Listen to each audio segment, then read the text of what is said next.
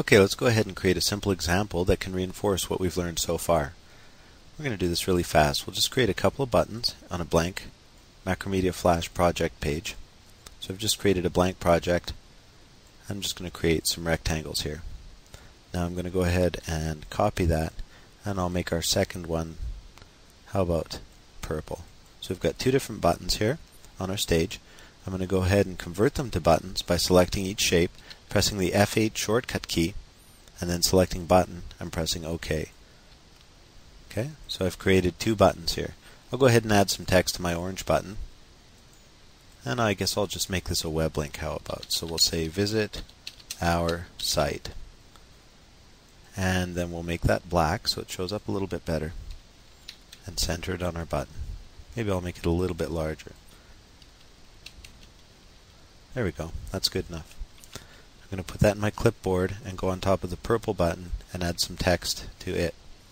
In this particular case, I'm going to change the text so that it says, uh, how about exit application? That's a simple button to make.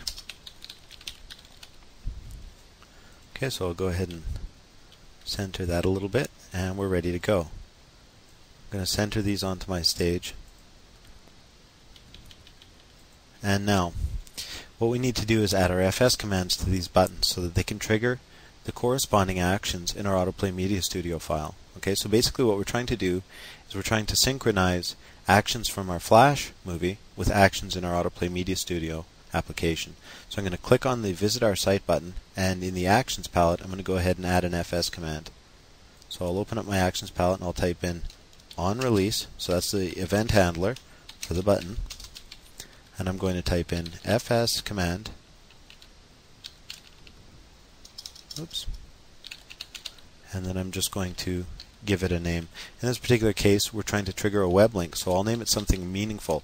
I'll call this web. I'll go ahead and close my actions editor. And I'm going to select my exit application button now and go back into the actions editor and add an fs command to it. So I'll use the on release event handler again. And inside there I'm going to type my fs command. In this particular case, I'm going to name it something meaningful for the event, which is an exit button. So we'll name it exit. Okay, so that's it for our Flash movie. It's all built. It's ready to go.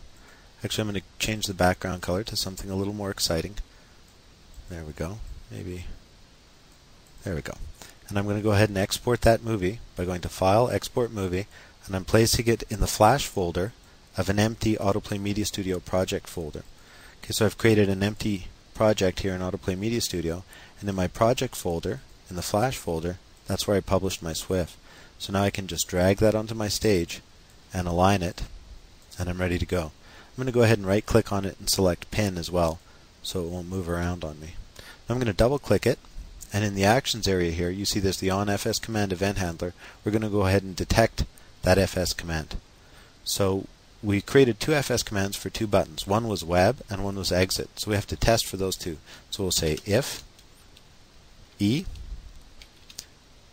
fs command equals in this particular case we'll use the web test first then okay so we're using that built-in variable efs command to test for the the name of the fs command which is fired from the flash object. In this particular case, we're testing to see if it equals web. So I'm going to go ahead and cut and paste that. And in the second case here, I'm just going to change where it says web to say exit. And now we can trigger whatever actions we want based upon those buttons. That's all it takes. We'll go ahead and add an application exit action to our second one here so that when we click the application exit button, it actually exits the application. Okay, and in the um, first one here, we'll go ahead and use the action wizard to add a file open URL action. So we'll click add action button, and from the file family, we'll choose the open URL action, double click on it, and we'll just type our web address name into the field here. We'll press finish, and then OK, and we'll test our application. I'll press F5 to preview. As you can see here, we're presenting with our Flash movie with the two buttons. When I click on the Visit Our Site button, I'm presented with our website. It opened it up in a my default browser. I'll go ahead and close that. and you can see our second button here, the Exit Application button. When I click on that, it actually exits our application. So that's a simple example of using fs commands, and we'll just review it really quick. We created two buttons in Flash, and we added fs commands to each of them. In the first case, we added an fs command called web to our visit our site button, and an fs command called exit to our exit application button in the second case. And then we exported that, drag and dropped it into our Autoplay Media Studio file, double clicked it, and in the on fs command event area here, we added some actions. what we added was two if uh, conditionals, and we tested to see what the name of the fs command was. In the first case, we tested to see if it was web, and if it was, in this case, we triggered a file open URL action which was pointed to our website.